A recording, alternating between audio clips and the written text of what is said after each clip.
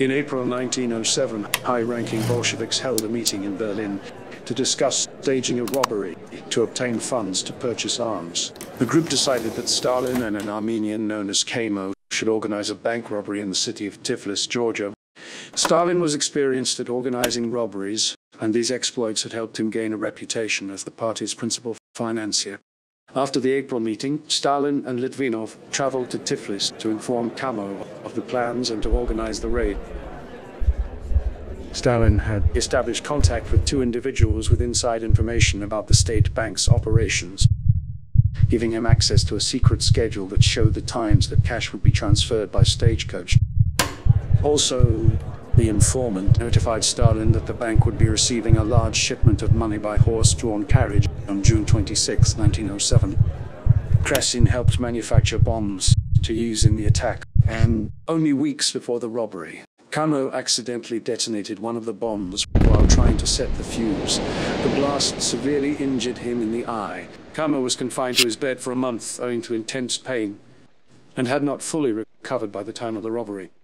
June 26, 1907, the 20 organizers, including Stalin, met near Erivansky Square, just two minutes from the bank, to finalize their plan. After the meeting, they went to their designated places in preparation for the attack. The Russian authorities had become aware that a large action was being planned by revolutionaries in Tiflis and had increased the security presence in the main square. They had been tipped off, and lookouts were posted on nearby roofs. The gang members mostly dressed themselves as peasants and waited on street corners with revolvers and grenades in their pockets. In contrast to the others, Kamo was disguised as a cavalry captain and came to the square in a horse-drawn carriage. The other conspirators were waiting in a tavern when they received a signal that the bank stagecoach was nearing the location. They quickly left the building with pistols drawn. The Tiflis branch of the State Bank of the Russian Empire had arranged to transport funds from the post office to the bank. Inside the stagecoach was the money, two guards with rifles, a bank cashier, and a bank accountant. A carriage filled with armed soldiers rode behind the stagecoach, surrounded by mounted Cossacks. Once the final signal was given, robbers pulled the fuses on their grenades and threw them at the carriage. The resulting explosions killed horses and guards, the robbers then began shooting at the various security men. The Georgian newspaper Zari reported the blasts were so strong that they knocked over nearby chimneys and broke every pane of glass for a mile around. Though the explosions had killed many of the guards, one of the horses harnessed to the stagecoach was injured, but still alive. The bleeding animal bolted from the scene, pulling the stagecoach with it. Two of the robbers chased after the money-laden carriage. After it was stopped, Kamo raced over to it, firing his pistol as he drove. Once he got there, the other robbers helped throw the money into the carriage. After securing the money, Kamo quickly rode out of the square, encountering a police carriage coming in from the opposite direction. He pretended to be a captain of the cavalry, shouting, The money is safe. Run to the square.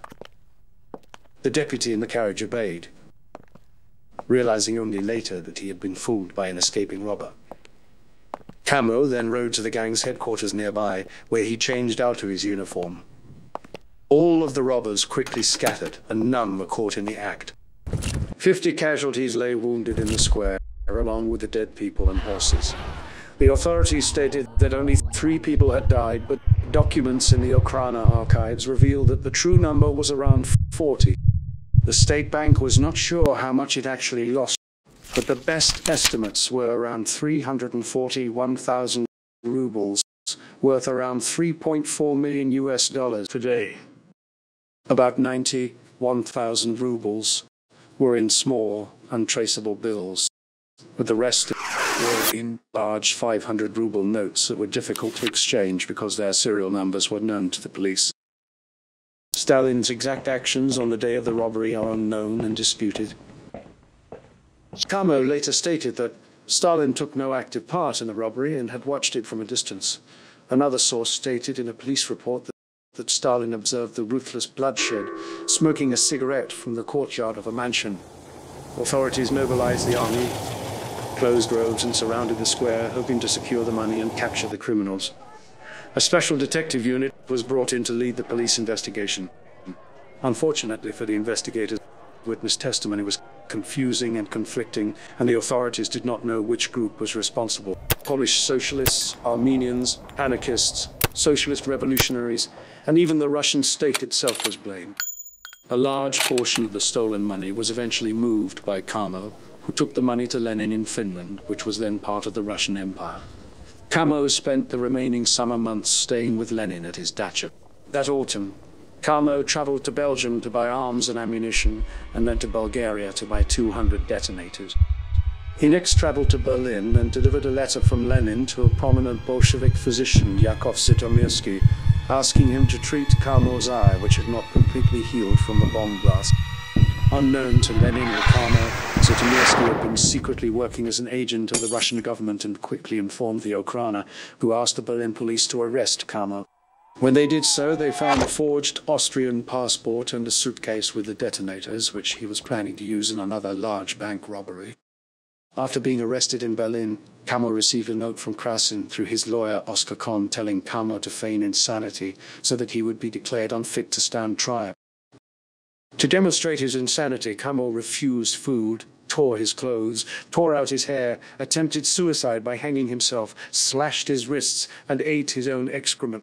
German doctors stuck pins under his nails, struck him in the back with a long needle, and burned him with hot irons, but he did not break his act. After all of these tests, the chief doctor of the Berlin asylum wrote in June 1909 that there is no foundation to the belief that Kamo is feigning insanity. He is without doubt mentally ill, is incapable of appearing before a court, or of serving sentence. It is extremely doubtful that he can completely recover. In 1909, Kamo was extradited to a Russian prison where he continued to feign insanity. Then finally, in April 1910, Kamo was tried for his role in the Tiflis robbery. At trial, Kamo continued to act insane by ignoring the proceedings and instead openly feeding a pet bird that he had snuck into the courtroom. The trial was suspended while officials examined Kamo's sanity once again. The court eventually found that he was sane when he committed the Tiflis robbery, but was currently mentally ill and should be confined until he recovered. In August 1911, after feigning insanity for more than three years, Camo escaped from the psychiatric ward of the prison by sawing through the bars on his cell window and climbing down a homemade rope. After escaping, Kamo eventually met up with Krasin, his longtime partner in crime and fellow communist, and they fiendishly began to plan another armed robbery. Again, he was caught. Before the robbery took place, and was put on trial in Tiflis for his exploits, including for the original bank robbery. This time, while imprisoned, Kamo did not feign insanity and was given four death sentences, seemingly doomed to death. Kamo then had a stoke of good luck along with other prisoners. His sentence was commuted to a long prison term as part of the celebrations for the Romanov dynasty tricentennial. Then Kamo was released from prison after the February Revolution in 1917. A total of three amnesties were enacted by Russian Minister of Justice Alexander Kerensky in 1917. According to some historians, about 90,000 political prisoners were released. After the wars were over, Kamo worked in the Soviet customs office by some accounts because he was too unstable to work for the secret police. Kamo died in a 1922 road accident when a truck hit him while he was cycling, Although there is no proof of foul play, some have theorized that Stalin ordered his death to keep him quiet.